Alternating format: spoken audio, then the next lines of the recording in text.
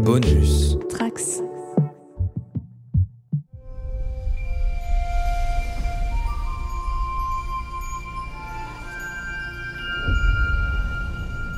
Bonjour à tous les trekkers et trekkies de toutes sortes, je suis le commandeur Guigui et je suis ravi de vous accueillir à bord de la station du Cadran Pop, le podcast sur Star Trek écoutable dans toute la galaxie et sur toutes vos applications de podcast via le flux du coin pop.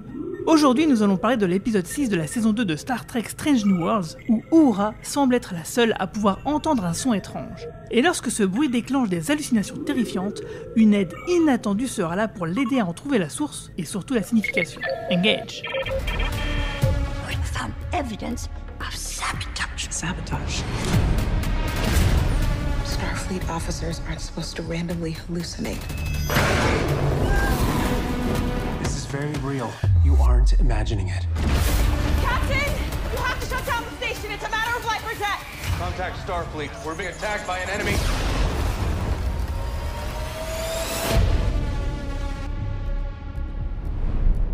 Working.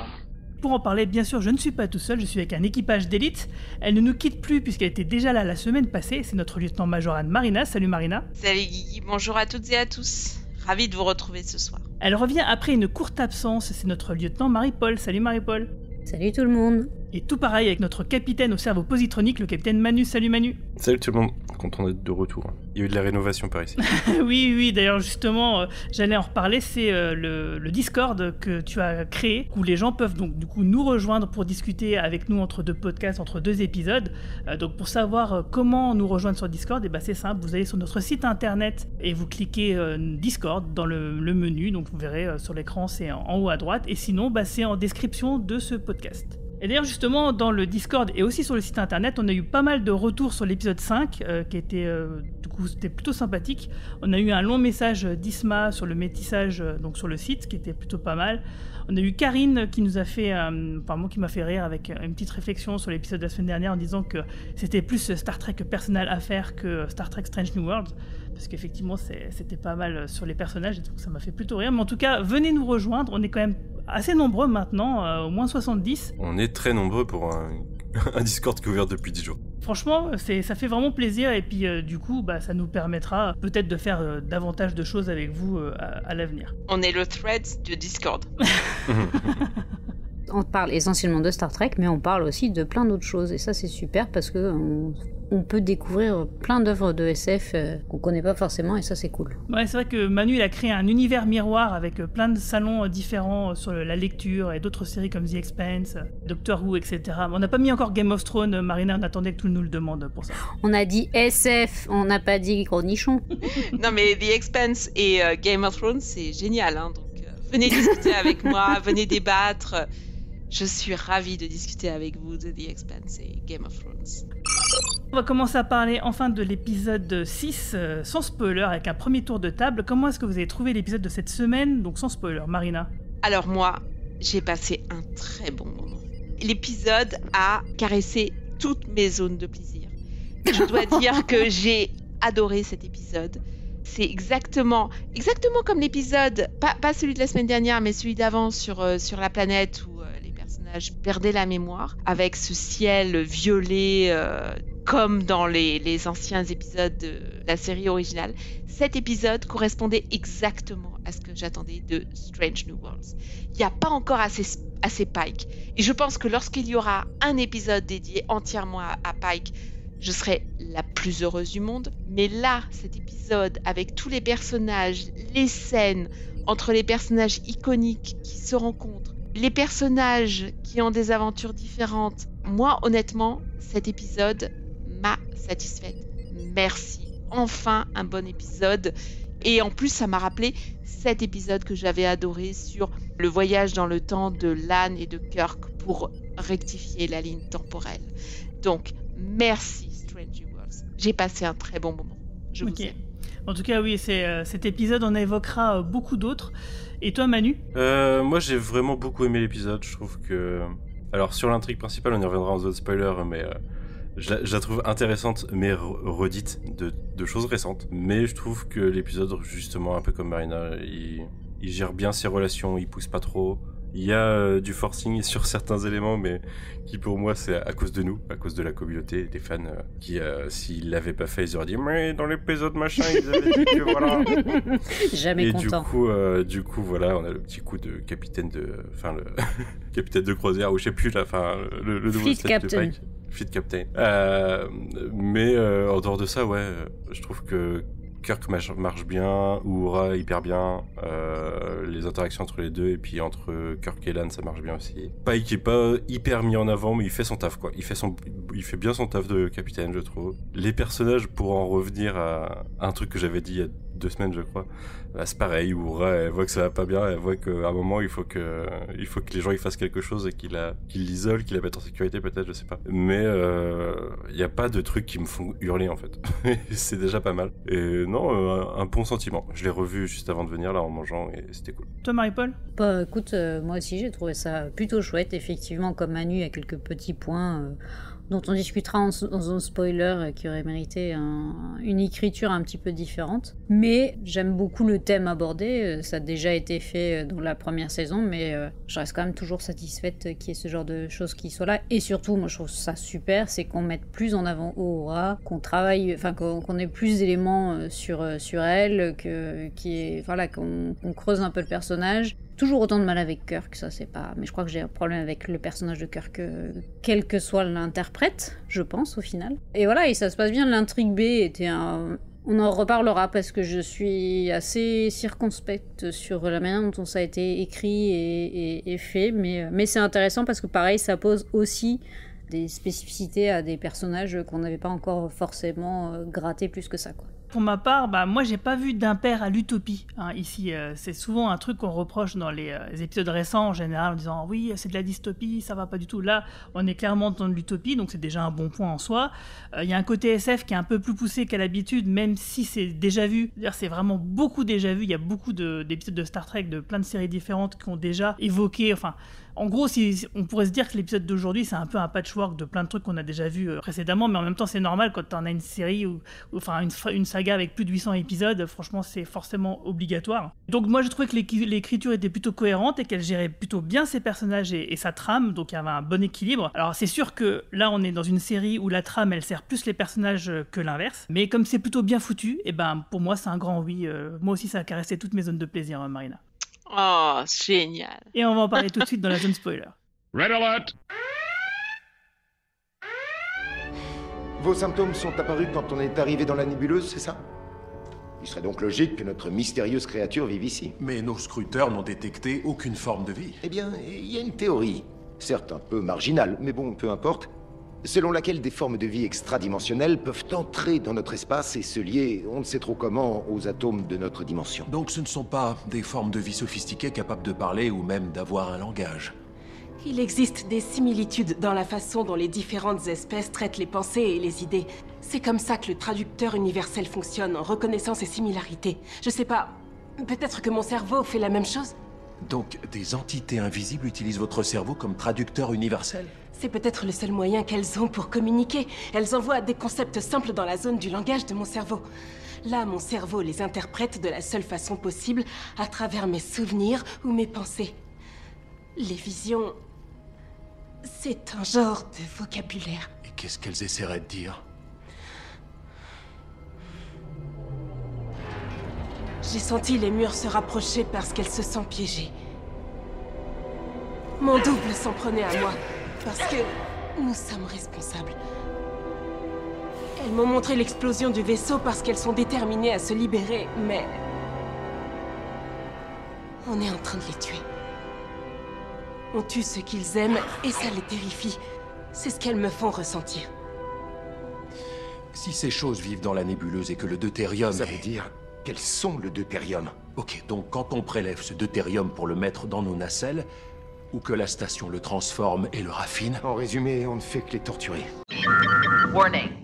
Alors l'épisode 6 de la saison 2 Lost in Translation ou Hallucination en, en version française, écrit par Onitra Johnson et David Reed et réalisé par Dan Liu. Alors on commence l'épisode par un journal de bord, hein, comme d'habitude, mais cette fois-ci sur Uhura. Euh, donc on apprend que l'USS Enterprise est dans une nébuleuse un peu particulière pour y construire une sorte de récupérateur de deutérium, qui est une sorte de carburant, on va dire. On ne sait pas exactement à quoi ça fonctionne. Enfin, en tout cas, si c'est le cas, moi j'ai oublié. Et en tout cas, ce récupérateur, cette espèce de grosse base, euh, ou de, il l'appelle gas station euh, en VO, qui semble déconner à plein de tubes. ça marche pas bien, ils savent pas trop pourquoi. Et ils sont associés avec le vaisseau USS Farragut, où se trouve le futur commandeur Kirk. Et du coup, c'est à cette occasion-là que le Captain Pike est promu capitaine de flotte dans cet épisode. Donc alors il est de flotte, donc c'est deux vaisseaux et une station, mais bon ça marche. Et c'était important parce que... Et par intérim, précise Et par, intérim. oui, c'est temporaire, t'as raison de le... Non, Guigui, c'était pas important. si, il le fallait, parce que le capitaine James parce Sticker... que c'était important pour que les gens ils fassent pas, mais parce que dans l'épisode, ils avaient dit... Mais à part ça, c'était pas important. Ça fait plus forcer qu'autre chose. Ouais, ça fait un peu forcer. Ça fait un peu cheveux sur la soupe, quand même. Alors, en fait, oui, pour ceux qui n'ont pas compris de quoi on parlait, euh, c'est parce que le capitaine James Sticker, dans l'épisode La Ménagerie, euh, première partie dans la saison 1 de la série classique, donc en 1966, donc joué par William Shatner, Kirk expliquait qu'il avait rencontré Pike au moment où il avait été promu euh, capitaine de flotte. Donc là, effectivement, c'est un subterfuge euh, un peu grossier euh, pour que bah, tout rentre dans les bonnes cases, mais ça marche. Moi, ça marche. Et en plus de ça, moi, ça m'a fait prendre conscience d'un effet Mandela parce que j'avais toujours cru que, en fait, Kirk avait connu Pike euh, très furtivement, voire qu'il l'avait croisé qu'une seule fois. Et en fait, en revoyant donc euh, le début de l'épisode de la ménagerie, aujourd'hui, je me suis rendu compte qu'en fait, pas du tout. Il dit qu'il l'a rencontré à cette occasion-là, mais il dit pas que c'est la seule fois où il l'a croisé. Et d'ailleurs, dans la scène où en fait il découvre ce qui est devenu du capitaine Pike, il l'appelle Chris. Et il a une façon de s'adresser à lui qui suggère qu'il le connaît un peu plus que s'il ne l'avait que simplement croisé. Donc voilà, c'est un petit effet Mandela, euh, je voulais le préciser parce que j'ai moi-même eu ce sentiment, ce, faux souvenir pendant longtemps, et j'ai vu que sur le Discord cette semaine, bah, Romain Brami, il eu le même. Donc je voulais rectifier un peu ce truc-là. Quoi. Donc on a ce, fameux Enterprise qui va récupérer aussi du deutérium pour son usage personnel. Alors du coup on va voir à quoi servent les espèces de gros trucs ronds rouges qui tournent au bout des nacelles. Hein. ça semble jouer un rôle dans cette tâche. Et c'est justement là, à ce moment-là, que Oura se met à entendre un son étrange. Alors qu'est-ce que vous avez pensé de cette entrée en matière? Bon, c'est assez, c'est assez efficace euh, et c'est marrant parce que euh, j'ai vu plusieurs réactions euh, à différents endroits qui disaient que ils avaient peur que le son étrange soit évoque des Borg. Et moi, ça ne me l'a pas. Voilà, évidemment, on est d'accord. j'ai pas, votre. C'est, mais ça ne m'a pas du tout fait. Et au contraire, m'a fait penser à d'autres choses, mais pas du tout aux Borg. Tu vois, je m'attends. Enfin, j'attendais pas du tout à ce que ce soit les Borg qui qui débarquent et encore moins les Gorn évidemment. Même s'ils parlent de du fait qu'ils sont euh, juste à côté euh, de la euh, l'Empire Gorn. Après, s'il y a bien un truc que Stretch the World n'a pas le droit de faire, c'est ça. Hein. Ouais, c'est clair. C'est-à-dire que là, l'avalanche de, l'avalanche de, de, fans qui vont sortir leur canon très justifié pour dire que non, ça va pas le faire. Non, mais moi, j'ai pensé clairement aux Gorn. Hein. Je dois dire que là, je j'ai pas pensé aux Borg. Je me suis dit, les Gorn, les Gorn, les Gorn. Et en fait, voilà. Mais, mais surtout, surtout qu'ils sont mentionnés plus tard dans l'épisode. Ouais, c'est clair. Effectivement, c'est intéressant euh, un peu de voir euh, la logistique de comment est-ce qu'ils font plein. Euh, parce qu'explorer l'univers c'est sympa, mais à un moment tu tournes, enfin il faut bien du carburant d'une manière ou d'une autre. Donc la pompe à essence dans le dans l'espace c'est intéressant et surtout ça bah, ça montre bien que l'utopie, euh, l'utopie euh, Star Trekienne, euh, elle pollue, elle aussi quand même. Et c'est intéressant aussi de reprendre conscience un peu de ça. On est très focus sur l'exploration, l'aventure, les personnages et les machins, mais pensons aussi au reste de l'univers, quoi. Depuis Forces of Nature et tout ça, on sait que le passage en, en distorsion peut justement détruire la fabrique de l'univers. Et donc, euh, il faut demander l'autorisation de passer euh, en vitesse, à une certaine vitesse euh, pour ne pas abîmer l'univers, justement. Ouais, ce fameux épisode de la saison 7 de la nouvelle génération qui était une belle métaphore, justement, bah, du réchauffement climatique et qui était plutôt pas mal. Bon, même si, ceci dit, effectivement, il me semble qu'après, c'est dans Deep Space Nine ou encore un petit peu après il semblerait qu'ils avaient corrigé le problème. Mais en tout cas, c'était un super épisode qui, moi, m'avait marqué à l'époque et qui, bien sûr, là, forcément, on peut, on peut y penser, mais en tout cas, le, coup des nacelles, moi je trouve c'est sympa parce que ça, ça amène un peu de l'or et c'est à mettre aussi en résonance un peu avec ce qu'on voit dans Star Trek Insurrection, où là aussi, euh, dans, euh, dans une nébuleuse, il y avait du gaz qui était aspiré dans les nacelles. Et donc euh, voilà quoi, c'est, on explore, on développe un petit peu plus le fonctionnement des, vaisseaux et moi je trouve que c'est plutôt pas mal. C'est des détails, mais voilà, c'est des détails de nerd. Moi ça me fait plaisir. Bah surtout qu'on est souvent à l'ingénierie, donc euh, c'est pas déconnant des fois d'en apprendre un peu plus, quoi. Plutôt que de répéter tout le fin de voir tout le temps les mêmes endroits, parce que dans la série originale, il y avait des décors à respecter, quoi. Là, au moins, on a les moyens de découvrir des choses. En tout cas, euh, elle va aller euh, chercher à recalibrer le réseau de communication parce que, euh, comme elle a dit, avoir entendu un son étrange et que c'est la seule à le faire, elle, elle part du principe que bah il y a quelque chose qui déconne dans le matériel parce que rien n'a été enregistré, mais pourtant elle est sûre et certaine d'avoir entendu quelque chose. Comme Emmer, euh, donc l'ingénieur qui est décédé, l'Andorien qui est donc mort dans la saison 1, lui avait appris, bah, elle recalibre elle-même euh, donc le réseau de communication. Elle se fait surprendre par euh, Pelia et donc du coup il y a une discussion intéressante qui s'enchaîne en- entre les deux parce que Pelia, comme elle, elle remplace Emmer, donc elle confronte Oura en lui disant pourquoi vous m'évitez depuis le début, depuis que je suis arrivé euh, à bord? Bah tout simplement parce que oui, Oura elle est toujours triste, elle a toujours pas digéré, euh, elle a toujours pas fait son deuil en fait. Et du coup, bon, il y a une conversation intéressante avec Pelia qui euh, sera pas mal présente dans cet épisode. J'ai deux choses sur cette scène. La première, c'est que j'ai une crainte qui s'est pas du coup, qui s'est pas fondée, enfin qui s'est pas révélée être fondée. C'était que le côté euh, Emmer ou Aura soit trop, trop dégoulinant dans l'épisode. Et je trouve ça euh, très bien fait. Je trouve que euh, c'est assez, sobre, ça marche bien, on y croit quoi. On croit à leur relation qu'on a vue et même si, euh, même si il était là que 9 épisodes, je crois. Par contre, le truc sur lequel ça se confirme un peu ma crainte, c'est que Pelia, pour l'instant, est-ce qu'elle va avoir un autre rôle que servir aux autres, en fait? Que servir à développer les autres personnellement? Parce qu'elle le fait sur deux persos, quoi, dans l'épisode. et j'ai un peu l'impression que... Alors oui, euh, là on est dans une période de transition entre, entre Emmer et elle justement, mais euh, entre euh, Uhura et numéro 1, ça fait deux personnages sur lesquels euh, elle est un peu là pour les faire avancer elle. Quoi. Bah, en même temps, Pelia, moi j'ai l'impression qu'elle est là uniquement euh, pour nous amener Scotty à un moment donné. Donc je pense que c'est vraiment le personnage fonction qui est là pour servir les plats en fait. Moi, honnêtement, je l'ai bien aimé dans cet épisode, avec les interactions qu'elle a eues avec. Je l'aime bien aussi, attention, et j'aime bien l'épisode, j'aime bien les interactions. Ça me fait juste peur de est-ce qu'elle va avoir un rôle quoi. Enfin, vraiment. Euh, je me dis qu'il y, a- il y a forcément quelque chose parce que c'est effectivement soit elle amène Scotty, soit elle est, elle est là pour faire avancer le scénario, mais ils auraient, ils auraient pas pris un personnage et, un, et une actrice de cette envergure juste pour faire avancer euh, quelques personnages. Je pense qu'il y a des, il y a des trucs euh, qui vont, qui vont arriver dans les prochains épisodes qui vont être, euh, qui vont des, enfin, elle, va- elle est peut-être un catalyseur de quelque chose de plus grand. Mais là, honnêtement, dans cet épisode, dans, dans les petites scènes qu'elle a, déjà, elle est très charismatique. Et en plus, euh, elle fait avancer les personnages. Donc déjà pour ça, euh, tant mieux.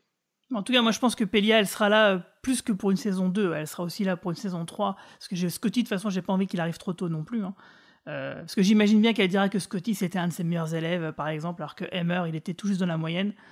Je trouve que voilà, les interactions, c'est vrai que Pelia, elle est toujours un peu, un peu marrante, un peu caustique. j'aime bien ce personnage aussi. hein. Autant la discussion au Kura, encore ça va. Autant la discussion avec euh, Number One, je l'ai pas trouvé très naturelle et très fluide. Je trouve qu'il y a eu des problèmes d'écriture de script euh, sur le sur leurs échanges, mais on en parlera. euh, On en parlera après. Moi, c'est pas parce que c'est pas parce que c'est une, nana qui a une qui a plus de 100 balais, qui a fait X trucs, euh, qu'elle doit être là vieille, d'avoir le rôle de vieille sage et de conseiller tout le monde. faudrait peut-être. Enfin, j'espère qu'on passera un peu à autre chose avec elle. Ouais, c'est un peu la Gainan, euh, la nouvelle Gainan, euh, quelque part, c'est clair. Après cette, euh, cette scène-là, on a la première vision que Uhura a avec un MR zombie, et là c'est le générique. Mais tout de suite après, comme le disait Manu, elle file voir le docteur, elle laisse pas traîner les choses, et qui conclut lui à une légère intoxication au deutérium qui serait mixée à un surménage qu'elle a, parce qu'elle a quand même vachement bossé justement, d'après ce que Pike dit, à, à la base sur laquelle il travaille pour le deutérium.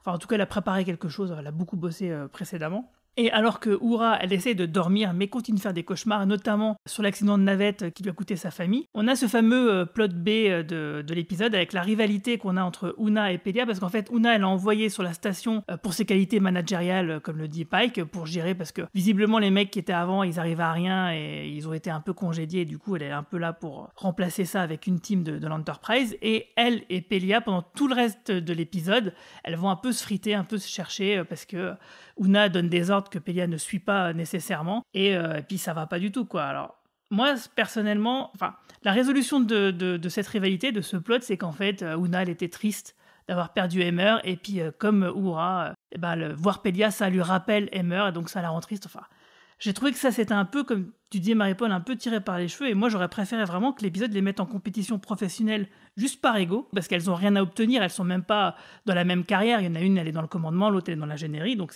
elles ont rien à, envier, à s'envier l'une à l'autre, mais juste l'idée d'avoir le dernier mot, quoi.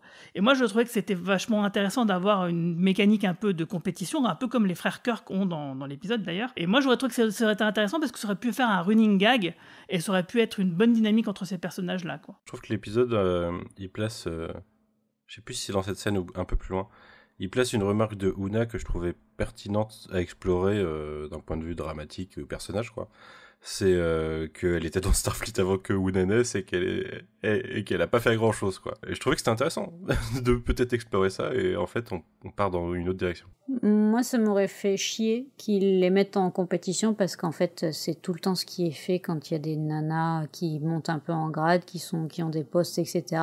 Toujours les toujours qu'elles se retrouvent en compétition avec les autres bonnes femmes. Alors ok c'est Starfleet, ok c'est d'utopie, ok c'est le futur, mais euh, dans la société telle qu'on la vit aujourd'hui, euh, quand t'es une femme, t'es tout le temps en train de te battre en permanence et juste pas avoir deux meufs euh, qui sont à des postes de haut, gradé se battre encore pour professionnellement c'est bien, même si je suis pas satisfaite de la manière dont certains de leurs échanges sont écrits, je préfère voir ça que d'avoir un truc de d'ego ou de professionnel. Les frères ça marche parce que ce sont des frères, parce qu'ils ont un passif, parce que enfin il y a le, le père qui était euh, et tout ça.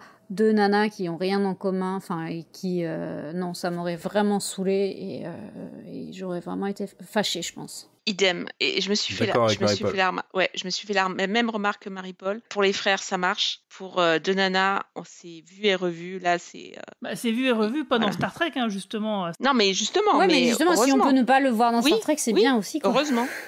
Moi, je, je, trouve que c'est vachement bien de, de, le voir aussi. Bah non, c'est un trope de merde, Guigui, quand même. Bah, c'est un trope sexiste en fait, donc à partir de là, c'est pas obligé. Je sais pas si c'est sexiste, euh, mais tu vois, la dynamique que tu as entre. Ah, je prends un autre exemple. Un autre exemple. Euh, pas les frères, parce que oui, euh, le coup des frères qui sont en compétition, c'est aussi un trope, euh, mais qui est différent. Mais là, c'est vraiment, c'est pas une compétition où elles ont quelque chose à obtenir, c'est l'une face à l'autre, c'est avoir le dernier mot. C'est un peu comme McCoy et Spock, par exemple, dans la série classique où en fait, euh, ils n'arrêtent pas de se crêper le chignon parce qu'il y en a toujours un qui va avoir raison sur l'autre. Mais là, ils ont une relation. Alors, je, je, me trompe, c'est pas la même relation. Il y a de l'amitié de, Ils sont potes, ils s'aiment et tout ça. Là, les deux meufs, elles se connaissent pas, elles arrivent juste, elles se fritent. Euh. Non, McCoy et Spock, au début, ils sont pas potes du tout, quoi. Ils sont au même point, quoi. D'ailleurs, on sait même pas.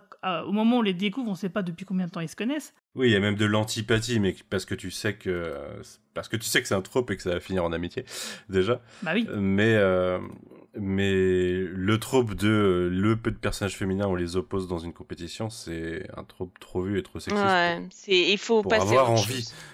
À, la rigueur, voilà, qu'il soit là, et, tu vois. Mais pour avoir envie, Guigui, je non, non, désolé. En tout cas, moi, j'aurais préféré ça à ce qui a été fait. Euh. Moi, je vois pas pourquoi c'est sexiste. Parce que oui, peut-être ça a été fait dans d'autres séries, j'en sais rien.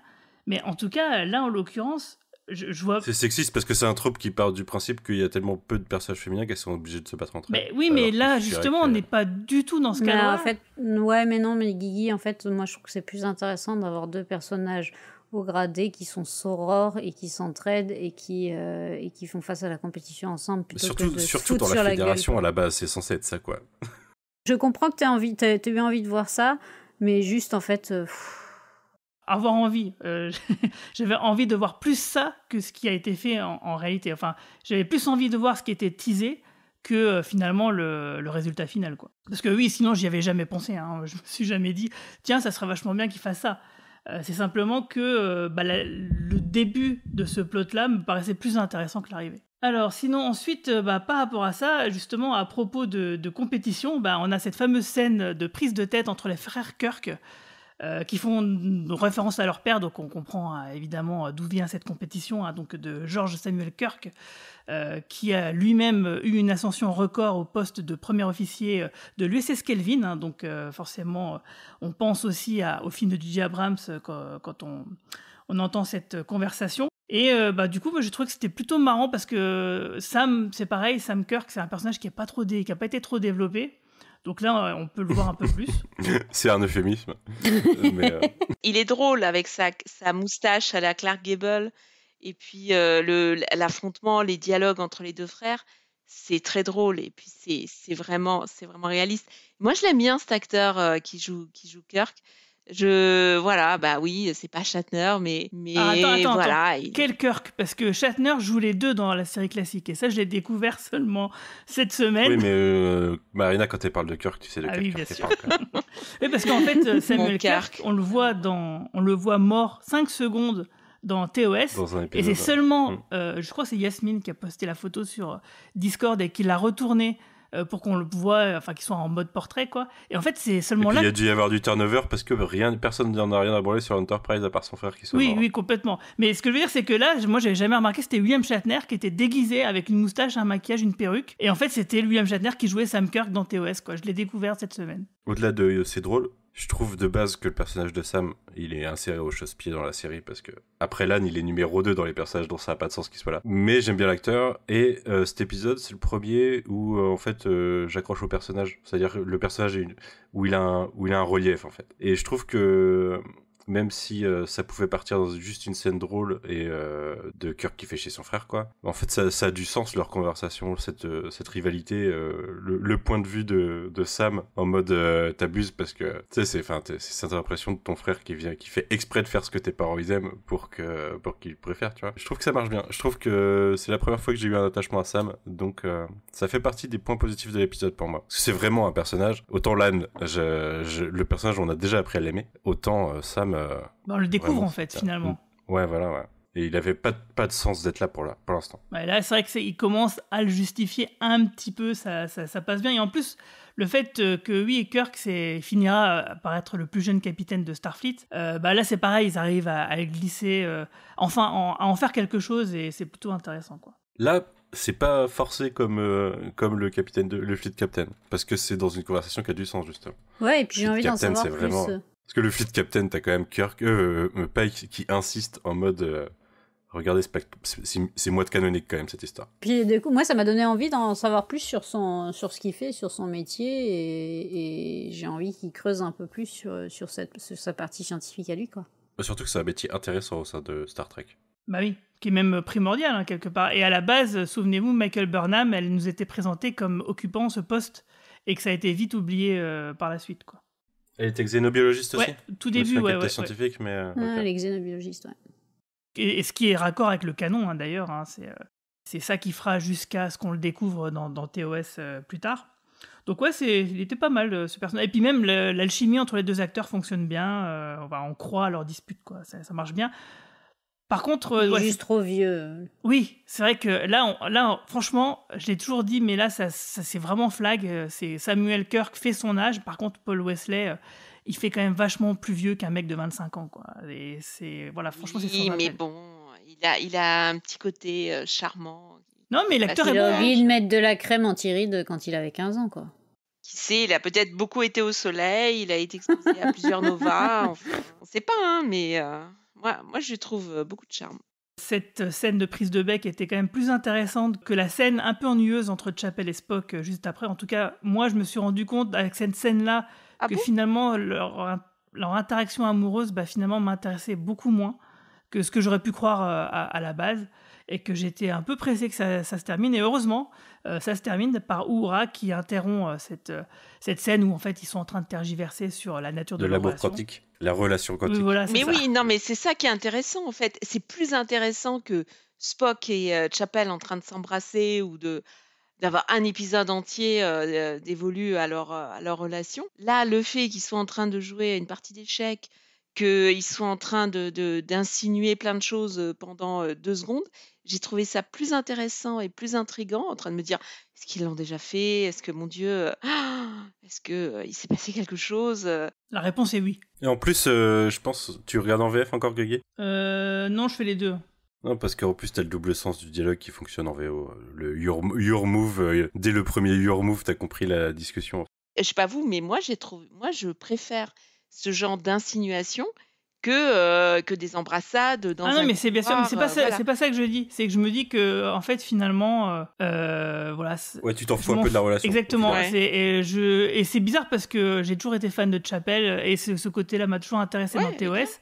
Mais là, je sais pas, euh, Kirk et Lan m'intéressent plus euh, si je devais euh, comparer, par Kirk, exemple. Et Uhura. Parce que moi, je dois dire que la scène où ils, se, où ils discutent au bar, moi, je dois dire que si vous m'avez écouté depuis euh, les premiers podcasts, je, je, je dois dire que je tenais une chandelle. Voilà, moi, je tenais une chandelle dans la série originale pour Kirk et Uhura. Parce que quand ils s'embrassent dans cet épisode où ils sont forcés de s'embrasser, mais moi, mon cœur, il battait à 100 à l'heure. J'étais euh, une, une, super fan. Donc là, quand euh, il, il, la dragouille au bar et on sait pas quoi, et elle, elle, elle, le rembarre. J'ai trouvé la scène, la scène super. Et puis même après leurs interactions. Attends, Scotty pour le triangle amoureux, du coup. mais ouais, pff, moi, j'adhère pas du tout à Aura et Scotty. Faut vraiment me le vendre. Hein. Mais, mais, mais moi, euh, Oura et Kirk, mais moi, je, je, leur tiens une chandelle. Je, je, je, euh, enfin, moi, moi, je suis super fan. Et là, le, leur petite scène comme ça, moi, je préfère les scènes où c'est insinué, où on, on se demande ce qui se passe et il y a des insinuations et euh, tout est tout est sous-entendu plutôt que les scènes où ça se passe euh, comme si on était Bien dans sûr. un dans, dans, dans Vas-y, moi je veux voir Spock tout nu là, on s'en fout du reste. Non, moi j'attends j'attends un truc entre Moi je suis plus team euh, team Kirk là en l'occurrence mais J'attends avec euh, hâte Chapelle et Aurora. Ah, ah, oui, pourquoi pas. Bah oui, euh, le, leur, leur rencontre au tout début, il y avait une électricité entre les vrai, deux. C'est vrai, il y a quelque chose. Elles ont de très belles scènes dans la série originale où, Aura euh, perd, euh, perd la mémoire, perd, perd le langage et en fait, euh, elle est à, elle est à l'infirmerie avec Chapel et elles ont des scènes toutes les deux. D'ailleurs, j'en profite pour dire que Nichelle Nichols voilà, porte très bien le bleu. Et, elles ont des scènes où, où Aura justement retrouve la fonction de la parole et peut communiquer à nouveau. Et elles ont des scènes dans les premiers épisodes de, de la première saison. Même dans la saison 3, hein, on, les, on, les, voit, elles sont assez souvent finalement dans la, ensemble, il me semble, dans les derniers épisodes aussi. Mais en tout cas, cette scène entre, de rencontre entre Uhura et Kirk, elle rappelle un peu euh, celle qu'il y a dans le film de 2009, euh, où ils se rencontraient aussi dans un bar. Et aussi, on avait l'impression que Kirk draguait Uhura, qu'il envoyait euh, bouler. Donc, il n'avait euh... pas l'impression. C'était, euh, il, lui, il lui roulait dessus directement euh, dans le film de Mais Abrams. ici, ici c'est plus nébuleux. Subtil. On ne sait pas trop là. Moi, j'aime beaucoup comment il le remballe direct. Genre, je ne suis pas disponible. Va voir ailleurs.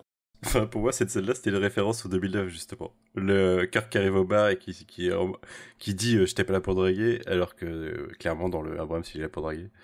Euh, pour moi, c'était c'était une référence directe, mais. Mmh, ouais, moi je pense aussi que, hein, que, que, pour dire que voilà, dans les deux univers, euh, dans les deux timelines, la rencontre est un peu différente mais similaire. Mais avec pas les mêmes intentions. Pas du tout. Pour moi, ça disait c'est pas le même Kirk. Exactement. bah justement, en plus, ça va se terminer différemment. Hein, c'est que Oura va lui péter le nez parce que en, elle va aussi avoir encore une vision euh, horrible. bah où elle voit plein de membres de l'équipage qui sont morts et puis euh, elle pense se battre contre elle-même et en fait c'est Kirk qui va s'en prendre une et du coup en allant euh, soigner euh, Kirk dans sa cabine parce qu'elle a un truc dermique là pour réparer son pif elle va se confier à lui et, là du coup Kirk bah, va se dire bah, je vais te donner un coup de main ce que tu me décris tes symptômes je vais en parler au docteur du Farragut pour voir si lui de son côté il a quelque chose quoi. Et là, c'est là que l'enquête commence vraiment euh, par rapport aux hallucinations de, de Oura, surtout que euh, pendant ce temps-là, Una et Pelia, elles se rendent compte qu'il y a un sabotage euh, potentiellement sur, sur la base de, de, réception du deutérium. Elles découvrent le lieutenant Ramon, qui est donc, alors si je me souviens plus, je crois que c'est un membre du, du Farragut, hein, bah oui, ou, ouais, c'est un gars du Farragut, qui a l'air d'avoir exactement le même problème qu'Oura, mais en, en, exacerbé, en pire, quoi. Donc, parce qu'il l'a depuis plus longtemps qu'elle. En vrai red shirt. oui, un vrai red shirt oui, pour le coup. Ouais. c'est clair. Ouais, ça. Parce qu'on a quand même le truc de. Il y a beaucoup de red shirts dans Star Trek et il y en a beaucoup qui meurent pas, mais là, il était vraiment là pour être euh, le red shirt. Pauvre lieutenant Ramon. Non, il est, enfin, il est là pour être sacrifié, euh, pauvre personnage. Hein. Il a pas, enfin, là, il, en l'occurrence, il est là pour être fonction. Hein. Bah si, il permet à Aura de comprendre en fait et de pas se sentir seule. C'est comme Aura qui comprend qu'elle a les mêmes symptômes que lui, quoi. Et qu'elle est pas folle du coup. Enfin, c'est Kirk qui lui dit qu'elle est pas folle. Qu'elle a pas d'hallucination, quoi. Tout le monde commence à comprendre euh, que oui, c'est pas Oura qui a un problème, c'est qu'il y a un vrai problème et qu'il qu affecte au moins deux personnes euh, au moins et que bah il faut régler le problème quoi. Et d'ailleurs justement le gars il en peut plus, hein, il va s'évader. Il y a tout le monde qui va courir après lui euh, avant qu'il fasse plus de dégâts parce que lui son truc visiblement c'est le sabotage. Alors, par contre, tout le monde continue à ne pas savoir tenir un phaser. Ça, c'est vrai que c'est une, re- une remarque qui est revenue souvent, et c'est vrai, parce qu'ils tiennent tous leur phaser à deux mains comme si c'était une arme à feu, mais en fait, il n'y a pas de recul sur les phasers, donc il n'y a pas besoin de les tenir comme ça. Les tenir à une main, comme ils ont toujours fait dans toutes les séries, C'est largement c'est un push-bouton, quoi. Oui, exactement. C'est comme une télécommande en fait. Et, et aussi, alors c'est un détail, mais c'est vrai que moi ça me manque euh, le fait d'avoir ce laser, ce, ce, ce faisceau en continu plutôt que d'espèces de petites balles euh, lumineuses et avec le petit bruit aussi. Le Mais surtout que quand tu vois euh, ce que ça fait à la porte, tu te dis, mais c'est en stun ou c'est en quoi le, le truc? Parce que s'il le vise vraiment, qu'est-ce qui se Bah passe? oui, le mec il meurt quoi. S'il se prend un truc comme ça, ou en tout cas il est grièvement blessé. Il est que- désintégré, quoi. Bah, il, il- a mal en tout cas, je pense, mais euh, c'est pas, il est pas juste stun, quoi, c'est sûr en tout cas. La fonction euh, d'étourdissement, elle fait que la personne elle tombe juste dans les pommes quoi. C'est euh, Bah oui, c'est la base, enfin c'est le réglage de base, quoi. C'est pas pour, euh, c'est pas fait pour Et ça suffit d'ailleurs, même c'est pareil. euh, alors, on peut comprendre parce que Oura elle est déstabilisée, mais quand elle le retrouve, le lieutenant Ramon, c'est vrai qu'elle aurait dû, au lieu d'essayer de parlementer avec lui, de le raisonner ou je ne sais quoi, elle aurait dû immédiatement l'immobiliser en l'assommant quoi. Avec, euh, avec J'ai eu le flashback de Picard et Crusher versus les Changeling Oui, dans bah pareil. la saison 3, Pareil. où ils arrivaient pas à viser là. J'ai eu ce petit flashback. Mais c'est pas, c'est pas, c'est c'est quand même moins, moins mauvais. Ah oui, bah c'est moins épisode. pire. C'est moins pire parce que là, en fait, elle essaye de. En fait, moi, je pense pas qu'elle essaye vraiment à l'arrêter. Je pense qu'elle essaye de, de l'arrêter, bien sûr, mais surtout de comprendre ce qui se passe euh, pour lui et pour elle. Donc c'est normal qu'elle cherche à, à- à communiquer avec lui. Bah elle, elle a tout intérêt à essayer, oui. ça craint sinon. Et donc, du coup, bah, ça marche pas du tout. Non, il finit, euh, il finit euh, mort euh, dans une, bah, après un sabotage justement lui. Ouais, d'ailleurs, c'est marrant la, capture de. Enfin, il y a Kirk qui arrive pour sauver Aurora par derrière elle, et ça fait effectivement une pose un peu à la James Bond quand il arrive derrière avec son phaser et paf, et, il, se, il se casse en se téléportant. sinon, bah, ils allaient exploser tous les trois, quoi. Ouais, J'aime bien cette, euh, cette, euh, cette photo. elle, effectivement, euh, comme je disais sur le Discord, on dirait vraiment une couverture de comics, quoi, quasiment. Quoi. Je sais plus si c'est à ce moment-là ou si c'est dans la conversation qu'ils ont avant, mais j'ai beaucoup aimé le dialogue de Kirk et Uhura avec euh, Kirk qui lui dit, euh, enfin quand Uhura doute euh, d'être faite pour Starfleet, Kirk qui lui dit bah peut-être en effet parce que parce qu'il y a des chances qu'on meure quoi. Et, et l'honnêteté euh, l'honnêteté du personnage face à parce qu'on on est habitué à non mais t'inquiète ça va bien se passer. Là euh, non on, est conscient que chez Starfleet il y a des morts régulièrement surtout quand t'es dans l'exploration. Non, et puis surtout, on retrouve vraiment le personnage de Kirk avec cette idée que lui, il est là pour euh, défier la mort, quoi. Et, euh, et c'est vrai que c'est une caractéristique du personnage qui, qui là est verbalisée. Elle a toujours été là, et elle est verbalisée dans les films.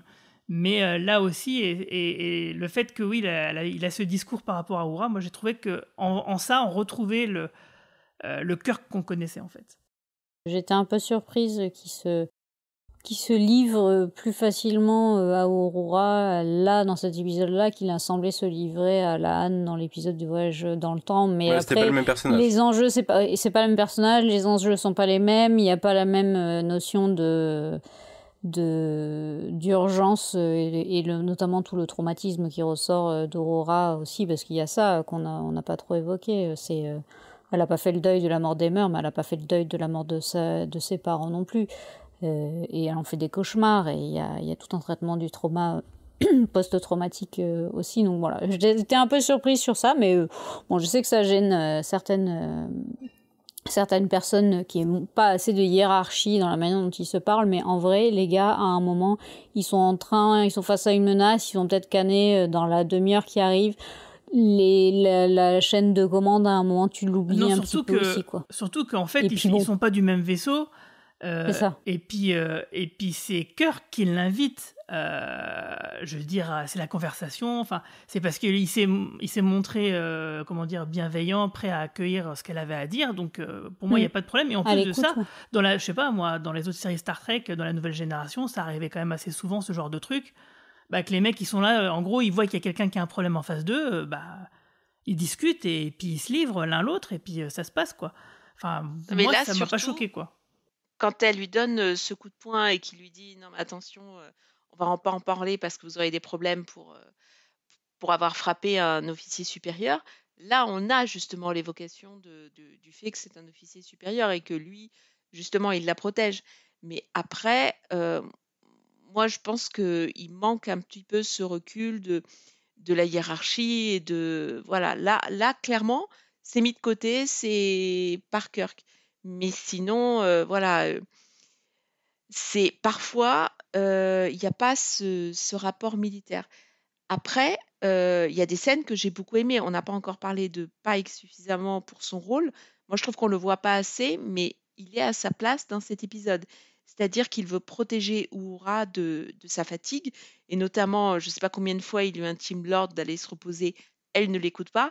À un moment, elle, elle, doit juste faire ce qu'il lui dit, parce que euh, on, a, on, a, enregistré. Oui, mais elle le fait, mais, mais enfin, euh, elle le fait, mais péniblement, et puis à la fin de l'épisode, et contrainte et forcée.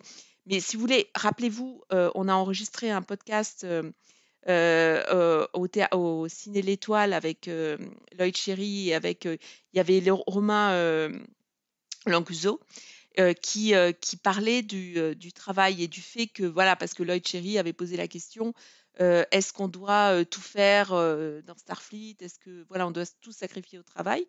Et, et Romain avait répondu non il y a un moment, on doit avoir une vie. Le travail, c'est pas. Il y a, un petit côté idéalisé chez Star Trek où les gens travaillent, sont épuisés et puis continuent à travailler et c'est très bien, c'est valorisé, c'est ça qui est valorisé. Mais dans la vraie vie, eh ben, je suis désolée, je suis d'accord avec Romain. il faut se reposer, il faut écouter son supérieur quand il, quand il dit qu'il faut, faut aller se coucher, se reposer et il faut pas en faire qu'à sa tête. À un moment, euh, Pike, il est dans son rôle et il le martèle, je ne sais pas combien de fois dans l'épisode. Oui, mais Marina, et il est dans son rôle. Moi, je, de, je, vais, je, vais, défendre Oura. Oura, elle le fait dès le début de l'épisode quand Pike lui dit. Simplement. Oui, c'est elle-même des... qui va directement chez le médecin. Quand elle revient sur le pont, c'est après une hallucination. Et oui, ça n'a rien à voir en fait. C'est parce que en fait, ses cauchemars continuent qu'elle n'arrive pas à dormir. Euh, que l'histoire continue, mais en vrai, elle a écouté les ordres de Pike dès le début. Et en fait, à chaque fois qu'il lui a donné ce genre d'ordre, elle l'a essayé, elle a essayé d'écouter, mais c'est pas de sa faute si elle a pas pu, quoi. Parce qu'il y a un côté somnambule, en fait. Elle, euh, il y a probablement un moment où elle s'endort et, euh, et c'est à ce moment-là que la vision elle démarre, quoi. Voilà, moi, je, moi, j'avais l'impression que, alors c'est vrai que vous l'avez vu vous, mais moi, par exemple, je faisais attention à ça parce que moi, j'ai, ce problème, je, j'ai tendance à trop travailler et, euh, et, quand mon manager me dit, bah, faut aller te reposer, bah, je le fais. Ou alors, bah, je le fais euh, spontanément comme ça. Mais, mais j'avais l'impression qu'elle le faisait pas assez parce qu'elle était tout le temps crevée. Euh. Mais elle le fait dès le début, dès le début de l'épisode, juste après le pré-générique. Ah, ouais, elle va à l'infirmerie, c'est le docteur Mbenga qui, qui, lui dit bah, écoute, maintenant, tu vas te coucher. Et puis la scène d'après, elle va se coucher, elle a ce cauchemar où en fait, elle voit euh, la fumée noire qui s'échappe de la navette de la... qui a tué sa famille en fait. Donc, euh, et Désolée, après, pas, ça, ça m'a pas, ça m'a pas marqué. Après, pendant tout l'épisode, j'ai l'impression qu'elle, qu'elle luttait contre la fatigue. Non, mais moi, je, euh, oui, elle lutte contre la fatigue, mais euh, à son corps défendant. Parce qu'elle a ces hallucinations là, que de toute façon, ça, elle peut pas dormir en fait. Mais, euh, mais t'as raison, moi, Pike, que j'ai trouvé, euh, j'ai trouvé complètement dans son rôle. Hein. Par exemple, euh, quand à la fin, euh, t'as Oura qui dit, parce que bon, je, saute un peu, mais à la fin, donc il faut détruire la station parce que c'est la source du, problème en fait. elle dit balancer les torpilles, etc. Et en fait, on voit derrière Pike qui fait un mouvement de la tête pour dire à Lan, oui, vas-y. En gros, c'est pas Oura qui donne l'ordre de. Enfin, elle dit de le faire, mais le vrai ordre, il vient du hochement de la tête de Pike. C'est-à-dire qu'en fait, euh, est vraiment en avant dans l'épisode-là, mais pour autant, chaque personnage est quand même à sa place en, termes de hiérarchie et, euh, de hiérarchie militaire, etc. Alors oui, ok, ils sont plus détendus, euh, ils sont plus euh, ouverts les uns aux autres, ils sont plus sympathiques, quoi. Ils sont pas stricts, ils sont pas, voilà, comme on peut l'avoir dans notre armée contemporaine, mais euh, ils sont quand même chacun à leur place, euh, euh, que ce soit Lan en tant que chef de la sécurité quand il faut traquer le gars, etc. pour moi, les seuls problèmes, c'est cette histoire de phaser qui sont pas en mode assommage et qui sont, tenus à deux mains. Voilà, mon seul problème de l'épisode, c'est ça en fait. À propos de Lan, eh ben ouais, je reviens sur cette, ces interactions kiffantes, j'ai trouvé moi, entre Kirk et Lan, et, et c'est vrai que je trouve que l'alchimie, Romain Bramil disait, il y a une grosse alchimie entre ces deux, acteurs, actrices euh, qu'on a vu dans l'épisode 3 et, là encore rebelote quoi. Non, puis t'as un côté, euh, un, un, truc vu et revu dans la science-fiction, hein, mais le, le déséquilibre, l'asymétrie de la relation avec un personnage qui connaît, qui connaît l'autre, mais pas totalement parce que c'est pas le même non plus, et l'autre qui a aucune idée de qui c'est globalement. je trouve que c'est bien géré, je trouve que ça marche bien, on ressent le poids que c'est pour Lan. De toute façon, elle peut même pas en parler parce que c'est pas vraiment la même personne non plus. Quoi. Oui, et puis elle peut pas en parler parce que la brigade temporelle lui a dit faut pas le faire. J'ai beaucoup aimé leur relation et c'est très intelligent d'avoir d'abord d'abord d'avoir des interactions entre Uhura et Kirk et ensuite Lan arrive très tard dans l'épisode. moi, j'ai trouvé ça plutôt bien amené. C'était pas, on s'y attendait pas en fait. Et c'est, moi, j'aime bien ce petit côté. les relations sont ne, prennent pas le pas sur l'histoire. Moi, je c'est marrant parce que je trouvais qu'elle arrivait trop tard dans l'épisode, Lan, étant donné son, son rôle qui est quand même, euh, c'est la chef de la sécurité, et il y a un bordel monstre, et il y a quand même une, il y a quand même euh, Aura qui entend des bruits chelous, il y a des hallucinations, des machins, il y a, enfin voilà, je la trouvais, je, je trouvais qu'elle arrivait un peu tard. Bah non, parce qu'en fait, elle arrive, euh, elle entre en scène au moment où il y a vraiment le saboteur, et il y a des vrais problèmes, parce que les les histoires d'hallucination de Oura, oui, elles sont graves pour nous téléspectateurs qui les voyons, mais en vrai, sur le au bord de l'Enterprise, tout se passe dans la tête de Oura, donc il n'y a pas de danger, quoi. Cependant, cependant, c'est marrant parce qu'on a joué à Star Trek Les cette semaine et à un moment il y a un élément inconnu qui est retrouvé et la sécurité s'en mêle. Alors, bon, certes, le jeu suggère que peut-être la, sécurité est louche, mais il y a un débat entre euh, science et sécurité pour savoir euh, c'est la responsabilité de qui parce que ça peut être une menace, ça peut être avoir été introduit par quelqu'un. Et euh, là, certes, ça a l'air d'être quelque chose de médical au début, mais en effet, la sécurité devrait se dire il y a c'est louche quand même. Est-ce qu'il manque juste, c'est une scène de, dans la salle de briefing où ils sont tous ensemble autour d'une table à, en discuter, quoi. Ouais, moi je me suis fait la même remarque que Marie-Paul, que Lan arrivait trop tard dans l'épisode. Et euh, je me suis fait une autre remarque, mais on en parlera après euh, à la fin de l'épisode. Mais oui, elle arrive, elle arrive trop tard, c'est clair. Euh. Non, moi je trouvais que ça allait, que c'était bien articulé, parce que sinon ça aurait fait trop. parce que de toute façon, si on, on, se souvient des bandes annonces, on sait que Kirk va revenir et qu'il y aura encore des interactions entre euh, lui et, la Anne. Donc, euh, on n'a pas fini de, de, les voir ces deux-là dans la saison 2. Et en tout cas, on a beaucoup parlé des interactions avec les personnages. Euh, et, c'est justement, c'est un, truc de. Sur le Discord, il y a eu un, gros débat sur le dosage entre les interactions entre les personnages et la SF. Et là, justement, on va rentrer dans le côté SF, c'est que euh, le, pourquoi des hallucinations de Oura, c'est qu'en fait, il y a une race extraterrestre dimensionnelle, différente, etc., qui vit dans le deutérium qu'ils sont en train de récupérer. Et leur façon de communiquer, c'est d'influer sur le cerveau de Oura, etc. Et, forcément, ça passe par des images parce qu'il n'y a pas de communication euh, verbale. Et en fait, c'est comme des métaphores. En fait les rêves, les souvenirs. Euh, ils utilisent en gros les souvenirs de, de pour lui communiquer ce qui leur arrive, quoi. Pour leur dire arrêtez d'essayer d'exploiter de, le deutérium parce qu'en faisant ça, vous nous torturez. Et j'ai trouvé que l'idée était vraiment pas mal. Euh, c'était une bonne idée de SF et qui, en fait, euh, on a passé beaucoup de temps avec les personnages, mais à un moment donné dans l'épisode, on est quand même. Les deux se fusionnent en quelque sorte. Parce que c'est c'est la relation des personnages qui, qui, amène le, SF quoi. Et je trouve c'est vachement bien. Ouais sans, sans doute. Euh, moi c'est un point positif le, le fait que ce soit pas quand je le regardais tout à l'heure avec il y avait Alfro il me fait un moment est-ce que c'est euh, des ennemis qui contrôlent mentalement Oura ou un truc comme ça. Je fais non, c'est beaucoup plus Star Trek que ça, t'inquiète pas. Mais euh, cependant, c'est une reprise totale de trucs récents parce que euh, la communication via les émotions, je crois qu'on l'a dans la saison 1 de Stretch New Worlds. Mais surtout, on est dans une inversion totale du paradigme de, Discovery saison 4, dans laquelle toute l'intrigue, c'est un fil rouge en plus, toute une saison euh, de la saison, c'est les anomalies de gravitation qui font sauter des systèmes solaires, dont celui de Book euh, qui disparaît. À la fin, on se rend compte qu'en fait, c'est une espèce qui évolue à un niveau supérieur qui se rend pas compte qu'elle tue des êtres vivants en faisant ça et c'est pour de l'énergie qui est, euh, en fait émine quoi. Et du coup, euh, je sais plus si l'avant-dernier ou le dernier épisode, il y a toute la problématique de communiquer avec eux et en fait, on est l'espèce Tensi euh, dans cette euh, dans cette situation. Enfin, la fédération c'est l'espèce Tensi de, de Discovery quoi. C'est exactement la même intrigue. Hein. De plus, la saison 3, c'était une histoire de le fil rouge, c'était une histoire de d'un personnage qui avait été modifié génétiquement par par des radiations de deutérium donc c'est, on est encore, on croise encore un petit peu tout ça. Mais euh, ouais, il y a des bonnes idées de SF, mais faudrait, faudrait peut-être bah, en fait, il, en choper d'autres. Il y en a plusieurs. Hein. C'est, il y a aussi dans la saison 4 de la nouvelle génération, euh, je sais pas si vous vous souvenez cet épisode où euh, tout le monde fait des cauchemars. Et c'est aussi parce que tu as une espèce d'extraterrestre qui leur demande de l'aide et la seule façon qu'ils ont de, faire, bah, c'est de leur faire ça. On voit cette espèce de, scène où il y a Dana Troy qui, qui, qui, nage un peu dans une espèce de truc un peu violet, un ciel chelou. Euh, donc c'était un peu même la même idée, mais il y a aussi euh, autre chose. Euh, Marina, elle parlait tout à l'heure de l'excellent épisode Les Forces de la Nature. Mais il y avait déjà dans la saison 2 de Discovery cette idée que le Sport Drive foutait un bordel dans une autre dimension. euh, de simple fait de son exploitation et qu'en fait il aurait fallu l'arrêter. Et moi à l'époque je, je m'étais dit mais, mais en fait euh, euh, pour justifier l'arrêt de l'utilisation du Sport Drive qui expliquerait pourquoi dans les autres séries on n'en on les- on en entend plus jamais parler, bah, c'est parce qu'ils ont, arrêté, ils ont décidé d'arrêter de l'utiliser parce que ça détruisait euh, la dimension d'autres êtres vivants quoi. Bon, euh, évidemment, dans Discovery, ils ont fait n'importe Ouais, quoi et du coup, la, finalité, c'était complètement autre chose. Ils ont complètement merdé, euh, chié dans la colle là-dessus, quoi.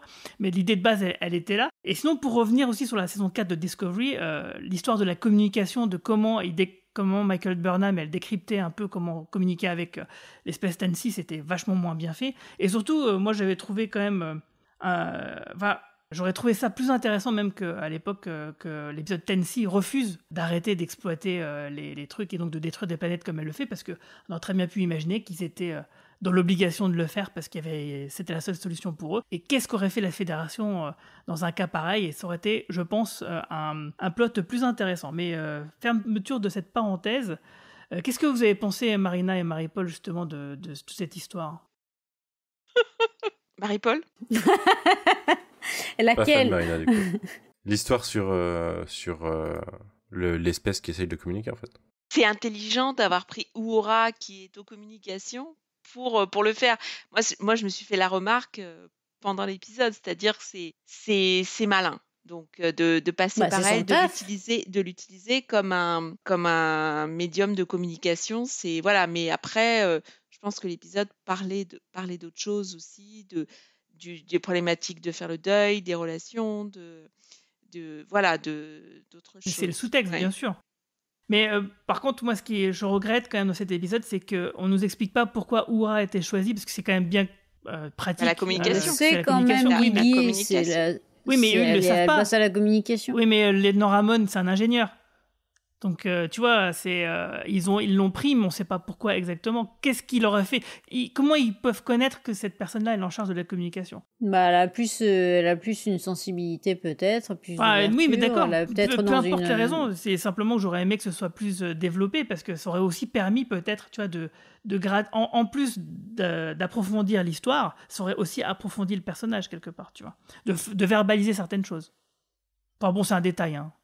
Oui, et puis on l'approfondit d'une autre manière. On, comprend, on apprend d'autres choses, d'autres choses sur elle. Déjà, les gars, ils arrivent à faire passer le fait que euh, euh, ils sont une espèce, ils peuvent pas communiquer autrement qu'en projetant des images de, de tirer de ses souvenirs, que euh, ils sont en train de les buter, que, euh, enfin, je trouve que c'est déjà beaucoup ce qu'ils arrivent à, transmettre et, ce qu'elle arrive à, comprendre. Mais en fait, d'ailleurs, il y a la réponse là-dedans, je pense. C'est que, en quelque sorte, ils scannent mentalement les personnes pour trouver les souvenirs qu'il leur faut. C'est qu'ils arrivent. Ils ont peut-être scanné un peu tout le monde. Ils se sont rendus compte que l'ingénieur, enfin Ramon, permettait de saboter au cas de besoin et que elle, ça permettait peut-être de communiquer si. euh, Parce qu'en fait, à la fin, euh, c'est pas qu'ils trouvent un décodeur, c'est que c'est Uhura qui décode. Oui, tout à euh, fait. en fait, elle se dit étant donné qu'ils ont essayé de communiquer avec moi, quel est le sens de ce qu'ils ont utilisé? C'est ça, c'est qu'ils veulent dire quelque euh, chose. Elle est vraiment essentielle dans sa réflexion, quoi. C'est toujours pareil, toi, dans l'épisode de la, de la nouvelle génération, euh, c'est tout l'équipage qui subit un peu le même sort, quoi. Et on aurait pu imaginer, enfin, pourquoi, est-ce tu vois, et se dire, ils ont peut-être pas assez de, de puissance, donc du coup, ils, ils doivent choisir la, la bonne personne. Et en fait, ce que tu dis là, moi, ça me semble complètement cohérent et logique, et c'est aussi comme ça que j'aurais pu le comprendre. Mais ça aurait été pas mal, je trouve, de le verbaliser, quoi. Ouais, après, si- je sais pas, si tu veux euh, qu'un vaisseau arrête de t'attaquer, peut-être que attaquer tout son équipage d'un coup, c'est pas la bonne solution. Non, mais peut-être que tout simplement, Mais, ils n'avaient euh, pas la, la- la capacité, la ressource de le faire. Et que, et c'est, en fait, ce que je dis ça, c'est, c'est pour souligner pourquoi Oura est choisi, tu vois. C'est- moi, c'est un petit manque hein, qui, qui est pas gênant, mais euh, j'aurais trouvé qu'il était intéressant justement pour encore plus marquer le coup que bah, était vraiment euh, la personne idéale pour cette mission, en fait.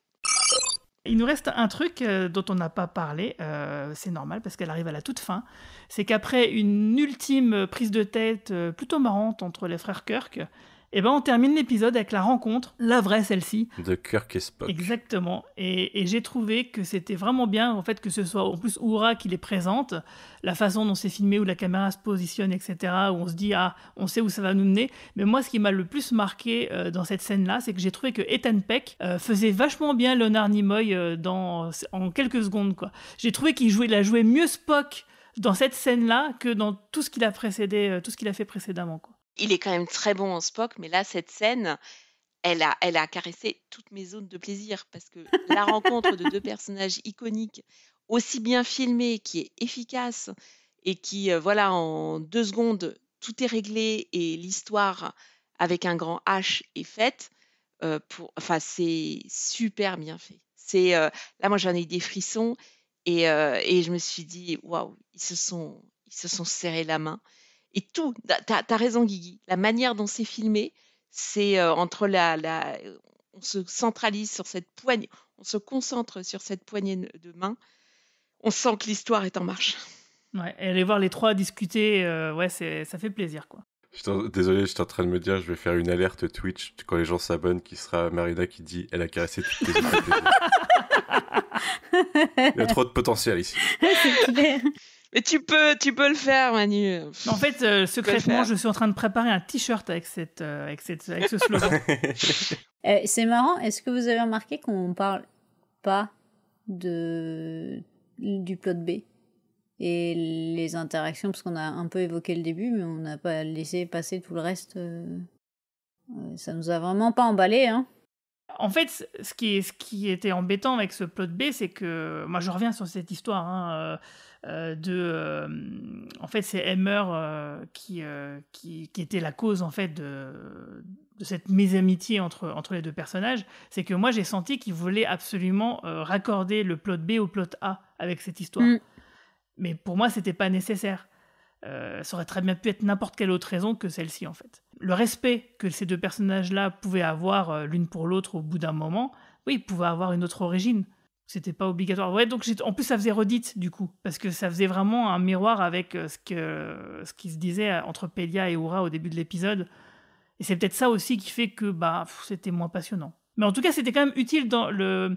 Leur scène était quand même utile à la trame A, malgré tout. hein. Parce que c'est quand même elle qui découvre euh, le lieutenant Ramon, le sabotage, etc., qui finalement lance vraiment toute l'histoire et toute l'enquête, quoi. oui c'est vrai mais bon et ça permet quand même de faire un de nous aussi on fait notre deuil du personnage de Emmer qui était quand même Oui. qui était quand même chouette et très attachant et qui quand sa mort était un peu Bah, c'est vrai, du coup, l'épisode-là aussi, il donne une bonne conclusion euh, à Emmer. Ça lui donne vraiment une, une bonne conclusion. On a moins l'impression que sa mort dans la saison 1, elle était euh, gratos, quoi. Mais moi, je, je maintiens que je trouve ça un petit peu malaisant que la- le deuil de ce personnage passe pas celui dont on devrait faire le deuil pour arriver à McCoy et on est obligé de le faire à un moment. Je trouve, je trouve ça bizarre.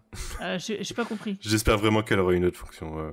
Ah, Ah, tu parles tu parles de J'espère que Pelia aura une autre fonction que ça. Ah oui, J'espère, moi j'espère que c'est pour ça qu'elle sera dans la saison 3 parce que elle a pas eu assez de place euh, sinon quoi. Donc euh, il faut vraiment qu'elle ait son épisode à elle, c'est sûr. Est-ce qu'on peut juste parler d'un point? Bah vas-y, et on terminera là-dessus. hein. Que Pike ordonne l'explosion de la, de la Ah oui. destruction de la station, mais comme ça, comme ça, littéralement comme ça. faut imaginer que cette station, elle a dû coûter des milliards. Euh, alors je sais bien qu'il y a plus d'argent, mais je dois dire que juste Oura dit euh, il, faut, il faut la détruire. Pike, il n'y a, pas de débat. Moi, dans NextG, j'imagine Picard en train d'écouter toutes les parties, de, de dire bon alors il y a un problème. Et j'imagine que euh, par exemple Laforge avait un copain qui avait participé à la construction de la station et que euh, il y a un autre personnage Troy qui dit il faut la détruire et donc il y a un débat éthique et tout ça. Là, en, en, en- en cinq secondes, il y a cette, euh, cette station qui a coûté allez, 5 milliards, Bah, qui était importante mais qui est détruite, mais qui est détruite, mais comme ça. Et ensuite, on a quand même la résolution de l'histoire, c'est que Pike dit Bon, bah écoutez, Oura, euh, je vous défendrai hein, et je prendrai ça sur moi. et, et on imagine les gens de la fait son taf de chef. Voilà, mais non, mais il fait, il fait son taf de chef, ça, tout, on est, on est d'accord. Mais moi, j'imagine les gens de la fédération qui.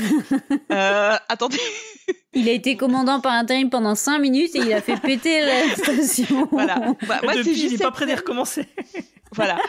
Cette scène, juste, je me suis dit, dans Next il y aurait eu un débat éthique, il y aurait Non eu mais des- c'est vrai.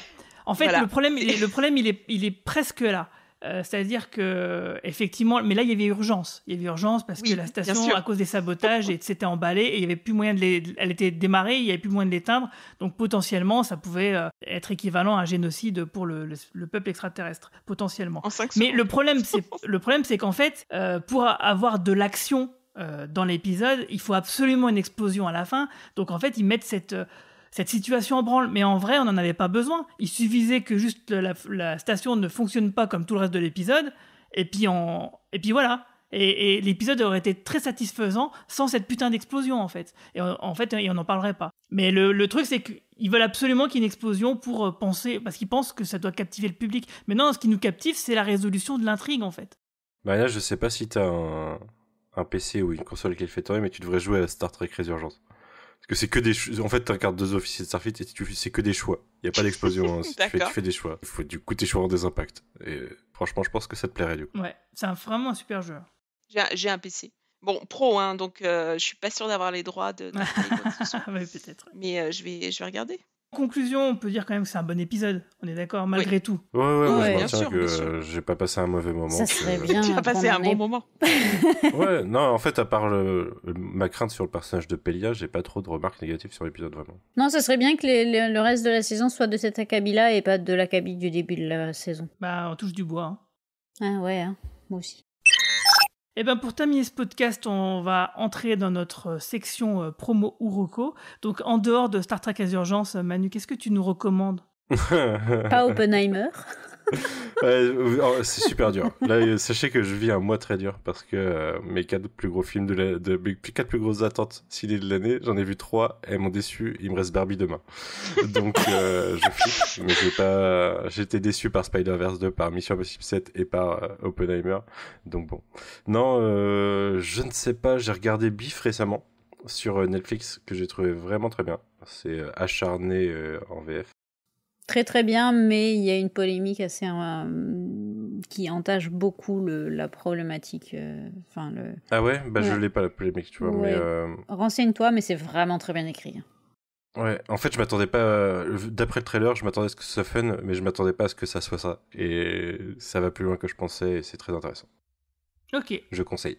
C'est 10 épisodes, je crois. Et toi, Marie-Paul? 8 ou 10. Moi, qu'est-ce que. Qu'est-ce que, qu'est-ce que. euh, bah écoute, moi j'ai fini euh, il y a pas si longtemps une traduction euh, d'un bouquin collectif euh, qui sortira normalement à la rentrée. Euh, alors, collectif, c'est-à-dire que c'est un ouvrage où il y a une quarantaine d'auteuristes euh, dirigés par Marjane Satrapi autour de Femmes, Vie, Liberté, le mouvement de révolution qui se passe en Iran depuis euh, maintenant plusieurs années. Et pourquoi est-ce que moi j'ai euh, travaillé dessus? Parce qu'en fait, il y a des autoristes qui ne sont pas francophones, qui ont donc écrit, écrit en, anglais et ont demandé de faire la traduction d'un certain nombre de pages. Et c'était euh, hyper intéressant, très très dur évidemment, puisque bah, c'est un pays où il y a des actions absolument horribles qui, euh, qui, qui ont lieu encore, euh, encore aujourd'hui. Mais, euh, mais voilà, donc j'ai pas, j'ai pas l'ensemble du bouquin, mais tout ce que moi j'ai traduit, j'ai trouvé ça assez intéressant. Donc ça sort normalement, je crois, en septembre, peut-être en octobre, aux éditions L'Iconoclaste. Donc c'est, dessiné, hein, c'est de la bande dessinée ou de l'illustré. Et ça s'appelle Femme, Vie, Liberté. Ok, bah c'est noté, bah tu nous en parleras le, le moment où ça ressort. Et toi, Marina? Eh ben moi, je suis team Manu dans le sens où euh, j'ai vu Mission Impossible 7 et je me suis endormie pendant le dernier acte, mais bien endormie. Après, c'est le plus moche, donc c'est pas grave. Les effets spéciaux de la fin sont. euh, J'ai jamais vu ça dans un Mission Impossible depuis le 2, mais. Mais euh, moi, mais surtout, j'adore Ghost Protocol. Je peux le revoir. euh, C'est que lequel, le. Ghost Mais non, c'est Rogue Protocol Nation C'est le le meilleur. Brad Bird, c'est le 4. c'est Sur c'est le le train? 4. C'est le Euh, 5 le non, meilleur. Qui, se- qui se passe à Dubaï. euh, il y a une tempête de sable et puis euh, ça se Ouais. passe dans un gratte-ciel et, et, euh, Ah oui. et Tom Cruise essaie de grimper avec euh, des gants, euh, tu sais, qui adhèrent oui, comme oui, oui, Spider-Man. et moi j'ai fait ça. pipi dans ma culotte avec le vertige. Ouais. Ouais. Mais moi aussi, moi aussi. Et honnêtement, euh, moi, c'est mon préféré. Je peux le revoir, je sais pas combien de fois. Mais là, euh, je me suis endormie, mais, mais bien. Et en plus, je crois que je ronflais. Donc, euh, voilà. mais mais j'ai une, mais j'ai une reco. Non, mais tout le monde l'a l'a adoré, sauf Manu et moi. Donc voilà. Non, on est quelques-uns. On est quelques-uns, voilà. Euh, moi, j'ai une reco parce que hier, je me suis dit que quand même, il y avait. euh, Alors déjà, il y a un podcast en ce moment qui a repris, c'est Blockbusters de Frédéric Sigrist, qui est quand même topissime. J'ai vu les épisodes d'Alan Moore. D'ailleurs, il y a Euh, Roman Nigita qui est passé dedans Et Il aujourd'hui. y a Roman Nigita qui passe aujourd'hui, je vais l'écouter euh, ce soir. J'ai écouté Albator, Alan Moore et euh, sur les super vilains, et il y en a un sur Schwartz- Schwartzy aussi. Est-ce qu'il y a un Euh, peu mais- plus de meufs dans ces intervenantes? Euh, pas forcément, non. J'ai Mhm. pas. euh, Non, pour. Ah oui, et Mary Shelley. sur Frankenstein. Euh, Il y en avait, il y en avait quelques-unes. Euh, mais J'ai vu euh, qu'il a annoncé le Rocky Horror Picture Show bientôt. à ah super. Parce que j'ai une pote justement qui va peut-être. Mais euh, moi j'ai une reco BD, c'est euh, irrécupérable. Je me suis dit quand même parce qu'à part Watchmen Ah. bien sûr qui est euh, C'est vieux. panthéon, mais irrécupérable. Irredeemable du coup? Oui, Ouais. Irredeemable, ouais, de Straczynski. Euh, non, c'est pas Non, Straczynski, attends, mais non, c'est euh, un mec type euh, Sup- euh, Superman. qui C'est pète Mark voilà. Mark C'est le seul bon Mark Il pète- que vous il- pouvez lire. ouais. un, un Superman qui pète les plombs un jour, euh, qui a une charge mentale monstre, parce que quand tu lis la BD, c'est il a une charge mentale, et il pète, il pète un câble un jour, et donc bah, l'humanité est foutue. Et franchement, mais c'est une des meilleures BD avec Watchmen euh, que j'ai jamais lu. Donc oui, lisez Watchmen, mais irrécupérable, c'est C'est euh, Supreme. Power qu'il avait fait chez Marvin, euh, chez, chez Marvel à l'époque. euh, Chez Marvin. L'escadron suprême qui avait été- Je me demande si c'est pas Mark Waid qui a inventé l'escadron suprême d'ailleurs. Mais, euh, mais Straz avait fait un run euh, début des 2000 chez, chez Marvel et c'était pas mal. Et du coup, oui, c'est la même idée quoi. Parce qu'avec Hyperion, avec un Hyperion qui est un Superman fasciste. Et là, c'est toute la Justice League en l'occurrence dans Supreme Power. il faut que je regarde. Alors, Ok, et ben moi, Marocco à moi, c'est Mission Impossible 7, parce que j'ai trouvé que c'était super. et sur ce, on va s'arrêter excellent, là. excellent. Donc merci à toutes et tous de nous avoir suivis. N'oubliez pas que si nos podcasts vous plaisent, merci de nous mettre 5 jolies étoiles et sympathiques commentaires sur les applications où vous nous écoutez, mais aussi sur Twitter, Discord, Facebook et sur notre site podcast.lecadranpop.fr. Longue vie et plein de prospérité à tout le monde. Salut. Salut.